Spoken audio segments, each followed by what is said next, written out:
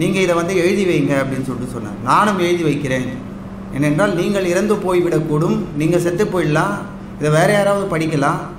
அவங்களுக்கு இந்த உண்மைகள் புரியலாம் இல்லையா? அப்படின்னு சொல்லிட்டு சொன்னார். ஆனால் அதற்கு முன்னால் அவர் ஒரு விஷயத்தை சொன்னார்.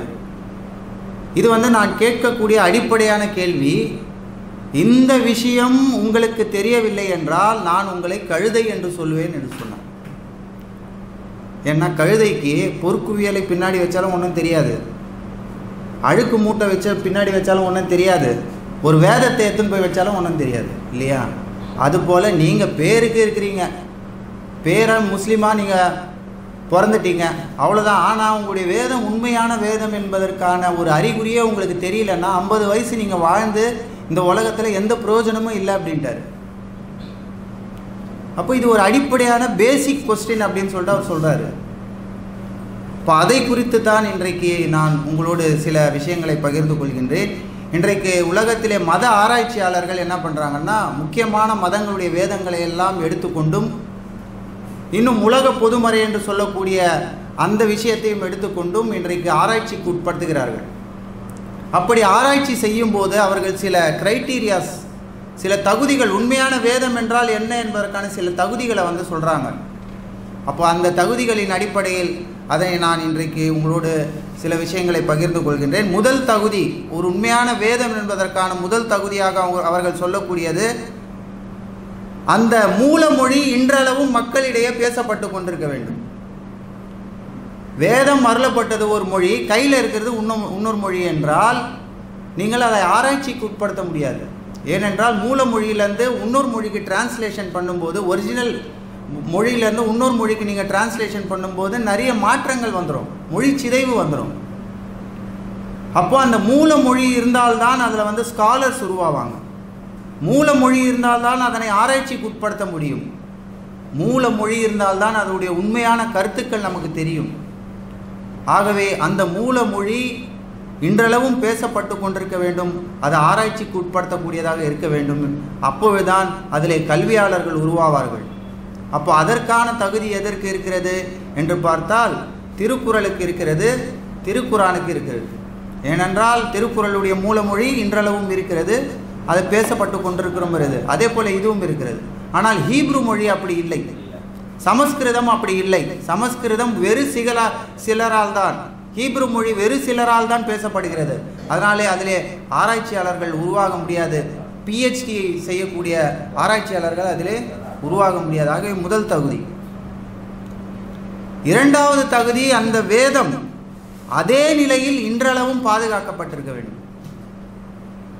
எந்த நிலையில் அருளப்பட்டதோ அதே நிலையில் இன்றளவும் பாதுகாக்கப்பட்டிருக்க வேண்டும்.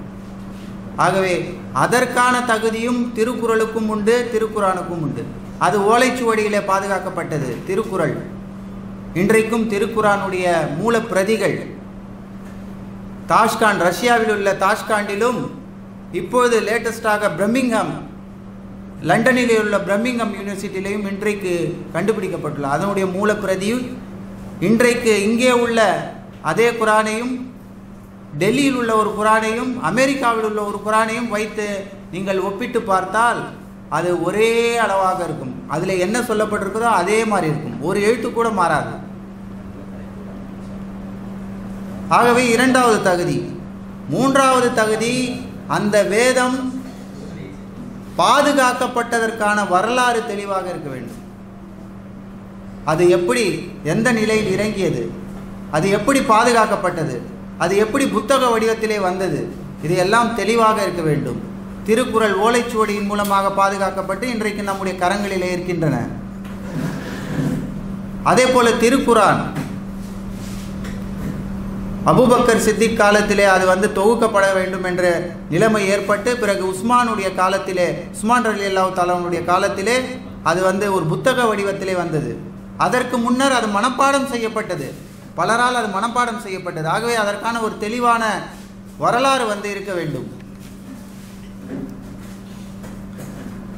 அடுத்ததாக அடுத்த கிரைட்டீரியா அந்த வேதம் எல்லா காலத்திற்கும் எல்லா நாட்டவருக்கும் எல்லா மொழியினருக்கும் எல்லா நிறத்தை உடையவருக்கும் அது உடையதாக இருக்க வேண்டும். ஒரு குறிப்பிட்ட மொழி பேசுபவருக்கு மட்டும்தான் அரபுக்களுக்கு மட்டும்தான் இது சொந்தம் என்று இருக்கக்கூடாது. அல்லது தமிழ் பேசக்கூடிய மக்கள் அல்லது வெள்ளை நிறத்தை உடைய மக்கள் இவர்களுக்கு மட்டும்தான் அது உரியதாக இருக்கக்கூடாது. மாறாக அது எல்லா காலத்திற்கும் ஒரு குறிப்பிட்ட காலத்திற்கு மட்டும்தான் பொருந்தும். ஐம்பது வருஷம்தான் இது பொருந்தும் அதுக்கப்புறம் அது காலாவதி ஆகிடும் அப்படியெல்லாம் இல்லாமல் எல்லா காலத்திற்கும் எல்லா நாட்டவருக்கும் எல்லா மொழியினருக்கும் எல்லா நிறத்தை உடையவருக்கும் அது பொருந்தி போகக்கூடியதாக அந்த வேதம் இருக்க வேண்டும். ஐந்தாவதாக நிரூபிக்கப்பட்ட விஞ்ஞான உண்மைகளோடு அது ஒத்துப்போக வேண்டும். ப்ரூவ்டு சயின்டிஃபிக் டேட்டாஸ் என்று சொல்லுவோம் அதனோடு அது மோதக்கூடாது. வேதத்தை கொடுத்தவன் இறைவன். அவன் ஒரு விஷயத்தை இந்த உலகத்தை எப்படி படைத்தான் என்பதை அவன் சொல்லிவிட்டான் என்றால் இன்றைக்கு ஆராய்ச்சியாளர்கள் கண்டுபிடிப்பதோடு அது ஒத்துப்போக வேண்டும்.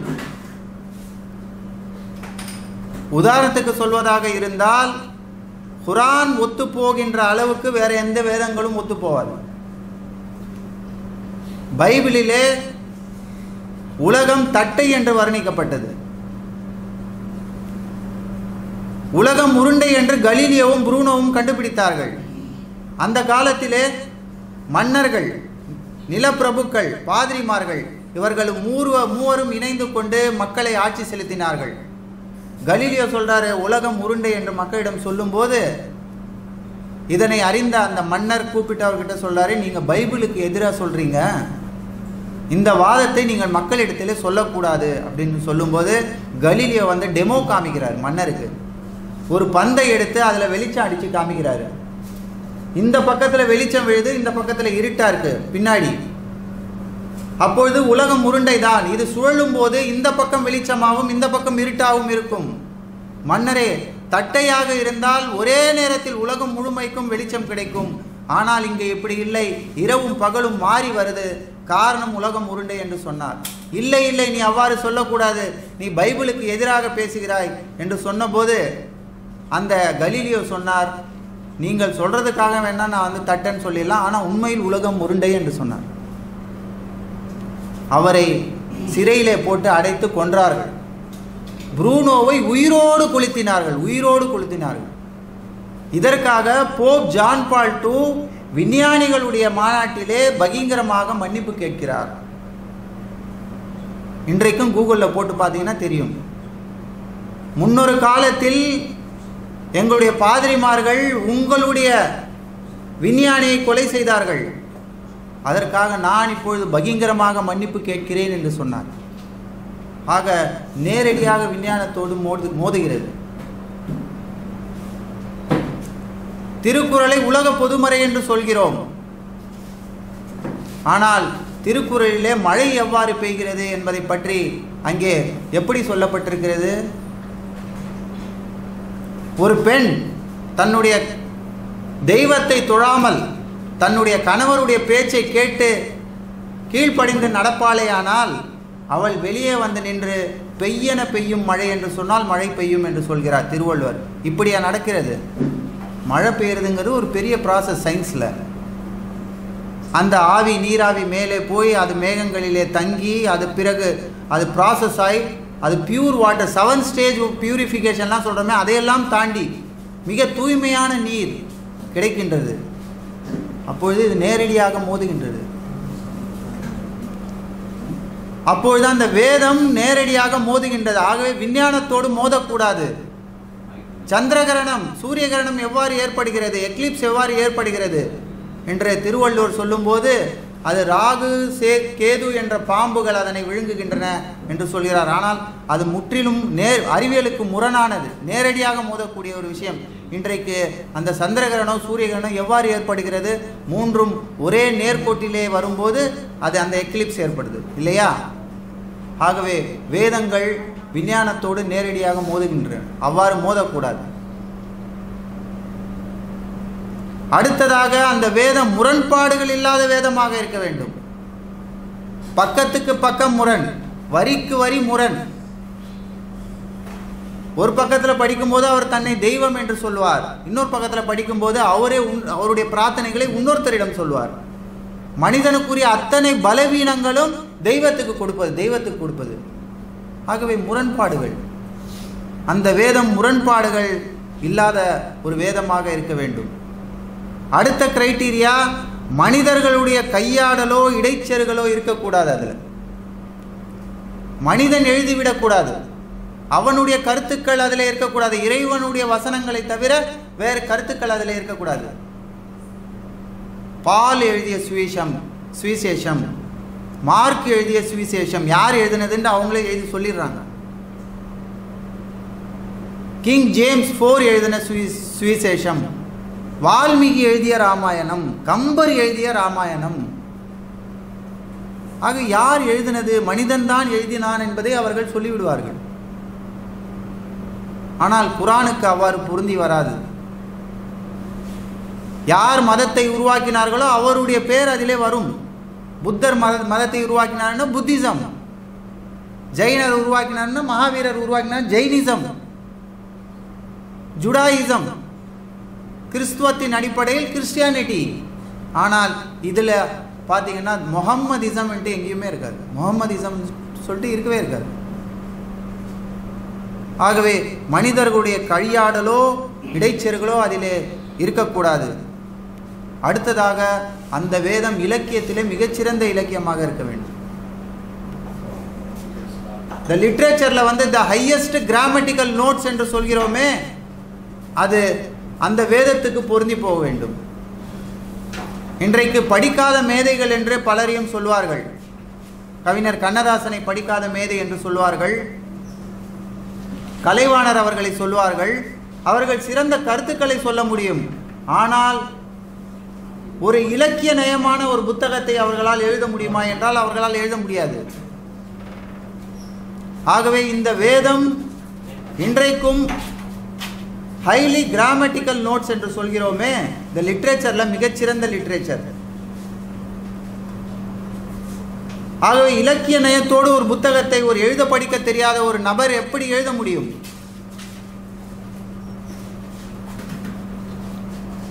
இன்றைக்கும் அந்த சேலஞ்ச் இன்றைக்கும் அந்த சேலஞ்ச் ஒன்று இருக்கிறது. அன்றைய காலகட்டத்திலே என்ன செய்வார்கள்?